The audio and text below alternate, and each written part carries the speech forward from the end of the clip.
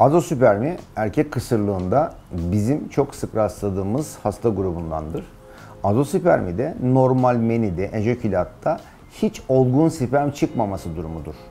Yani burada biz ona sıfır diye anlatabiliriz. En az 2 veya 3 farklı yerde sperm testinin sıfır çıkması gerçek azospermidir. Burada kriptozlu sperm ve virgil azospermi ile karıştırılmaktadır.